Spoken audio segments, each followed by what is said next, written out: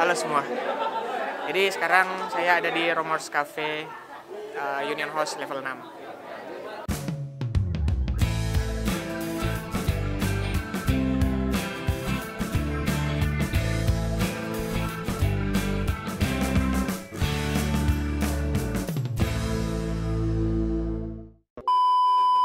Tidak perlu berlama-lama, saya sampaikan dulu untuk susunan acara pada hari ini.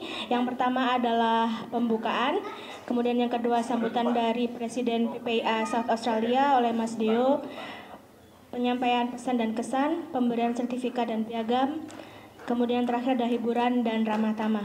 Jadi sekarang kita ada di kegiatan Back for yang dilaksanakan oleh PPA WOFA. Jadi ini farewell party untuk teman-teman yang sudah mau kembali ke Indonesia. Terima kasih PPA WOFA. Jadi uh, kalau tempo hari itu farewellnya dilaksanakan oleh PPIA SA, jadi hari ini farewellnya diadakan oleh PPIA WOFA. Menunya bakso. Keren banget.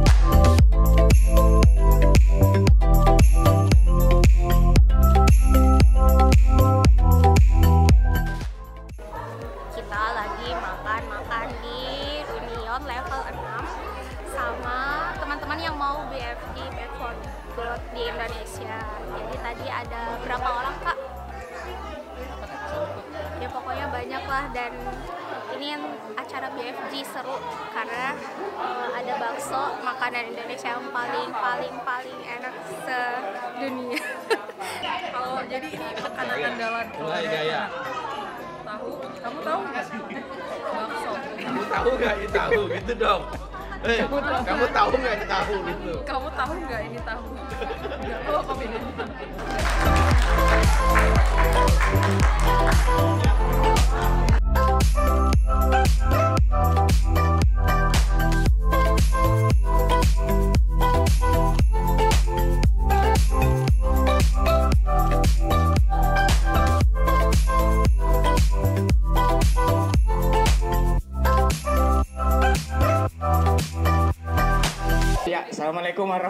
Wabarakatuh. Ini gimana? Saya dulu baru. Saya dulu. Oh iya. Enggak ke sini bro. Kasihan kan. Kalau kamu ada ada pembanding. Saya lebih ganteng dikit saya. ya. ah, Sini di sini di sini. sini sini. Ya. ya jadi eh, pertama-tama saya ucapkan terima kasih kepada teman-teman PPI eh, UOFA yang sudah mengadakan BFG ini. Walaupun ini yang saya tidak sepakat Ruci dipanggil sama saya ini. Eh, yang terhormat Bapak Ketua Presiden PPASA, kemudian Pak Pak Muldi, Presiden mana Muldi? Presiden PPA WOFA, serta Bang Rizal sebagai Presiden PMBP, Perkumpulan Mahasiswa Pecinta Nasi Biryani. Ini selama sebulan puasa ini tidak pernah beli makanan. Bu. Itu biryani terus satu bulan itu. ya. ah. Halo teman-teman.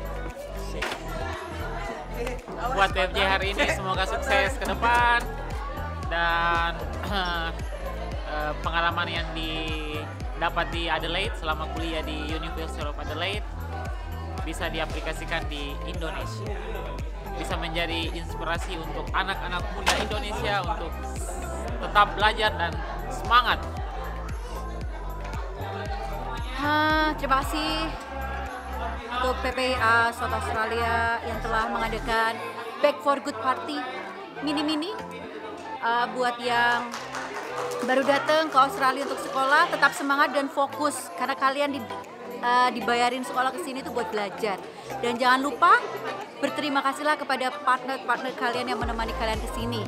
Baik pacar suami atau istri jangan lupa berterima kasih. Tanpa mereka kalian nggak jadi apa-apa. Tetap semangat!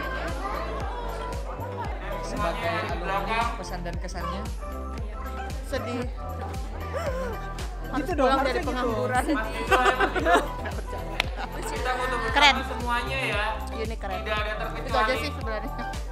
Jalan Halo, pengunjung yang lain. perkenalkan saya Dewi. Jauh. Annyeonghaseyo. Lagi nyari jodoh.